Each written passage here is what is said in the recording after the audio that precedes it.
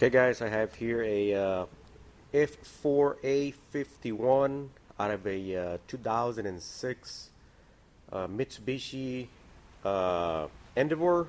I think that's what it is. Uh, common issues. I think I'm gonna start uh, sharing some uh, common issues videos with you guys. A combination is that this planetary gear right here, it gets stripped from from the splines. I mean, you will always see it on the uh, heavier vehicles like the Endeavor, uh, like the Mitsubishi, uh, not, not the Mitsubishi, the Hyundai Santa Fe. It has the same uh, Mitsubishi transmission in it. Uh, you will see uh, this planet stripped. And also you will see that both planets get destroyed. And let me show you here what happened here. One of the pins fell out and the pinion gets wore out where the where the planet uh, one of the planet's uh, gears they just fall off. Uh, I mean so on this unit he's going to need both planets. This is a very common issue to see this right here uh, without damage without damage to that planet. But this actually I mean you can see I mean, parts falling off falling apart. Uh, common issue and common issues as well. It's uh, broken pumps. I think I got two videos on two Mitsubishi uh, pumps that are uh, were leaking. One was broke, I think, and the other one had a crack on it.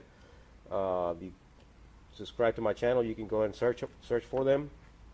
Now, uh, this is called a planet because he has the planets, uh, planetary gears revolving around a sun gear, and the sun gear goes inside, and the planets revolve around the sun.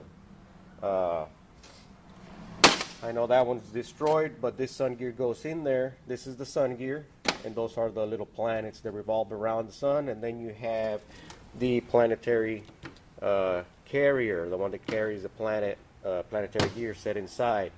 And this is a four-speed. I got a five-speed uh, Sprag rotation video, and uh, it's empty here, and it has a drum in there, and it has the uh, the transfer gear. This is a little different. It's a four-speed uh, F4A 51.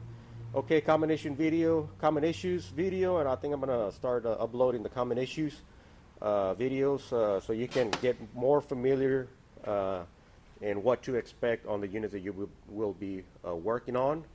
Uh, another common thing for this Mitsubishi's is that on earlier models you have a wavy on the low reverse that look like this, and it used to break and it would go past the filter and then uh, it would break your pump gears. But this one's the updated one, the solid steel one, so we don't need to replace that. Another thing, filter location. That's why it's another good idea to uh, uh, drain and fill your transmissions every, uh, at least every 20,000 miles.